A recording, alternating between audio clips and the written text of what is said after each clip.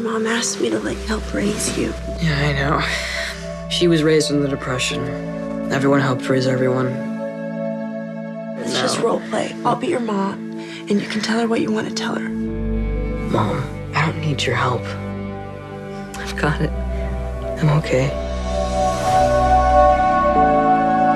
The way I write, I don't really create characters. I kind of find peop existing real people, and I try to really work off of them.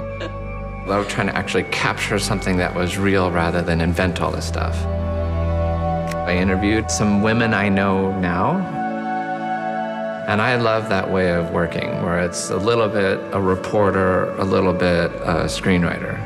Do you think you're happy? Seriously? You don't ask people questions like that. You're my mom. Especially your mom. Dorothea, Annette Bening's character, it's, it's based a lot on my mom. So that's all memories because my mom's gone. Was having Jamie like the biggest thing that ever happened to you? I guess so.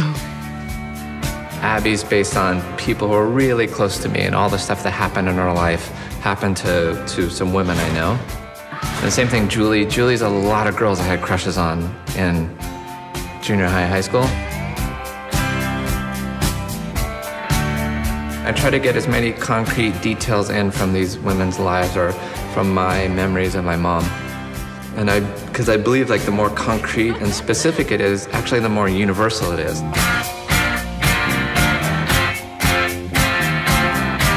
It's always about the mother. Okay, Jesus. Uh, yeah.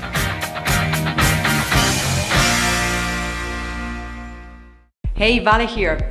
Like me, are you a movie lover? Well, a list has been released of the top 100 films of the 21st century, and we have cut it down to give you the top 10 films as selected by 177 film critics from around the world.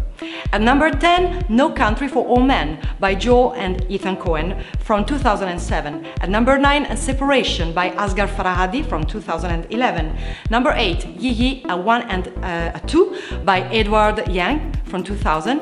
Number 7, The Tree of Life by Terrence Malick from 2011. Number 6, Eternal Sunshine of the Spotless Mind by Michael Gondry from 2004. Number 5, Boyhood by Richard Linklater from 2014. Number 4, Spirited Away uh, by Hayao Miyazaki from 2001. Number 3, There Will Be Blood by Paul Thomas Anderson from 2007. Number 2, In the Mood for Love by Wong Kar-wai from 2000. And number 1, Mulholland Drive by David Lynch from 2001. Do you agree with this list? How many of these films have you seen? Let us know in the comments below and remember, if you haven't already done it, to subscribe to our channel for all the latest trailer releases. Bye bye.